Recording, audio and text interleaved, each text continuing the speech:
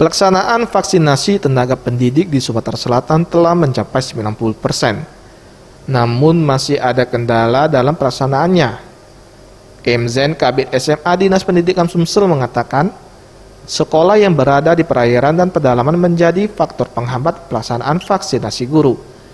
Namun pihaknya terus mendorong dengan berkoordinasi dengan Dinas Kesehatan agar pelaksanaan vaksinasi tenaga pendidik ini dapat dikejar sampai akhir tahun 2021.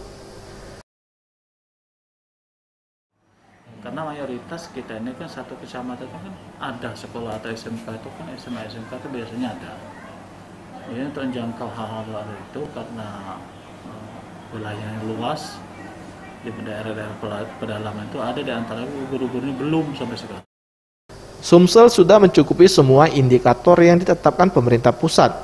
Di antaranya menurunnya angka penyebaran kasus COVID-19, level PPKM, dan capaian vaksinasi tenaga pendidik. Tim Liputan Sriwijaya TV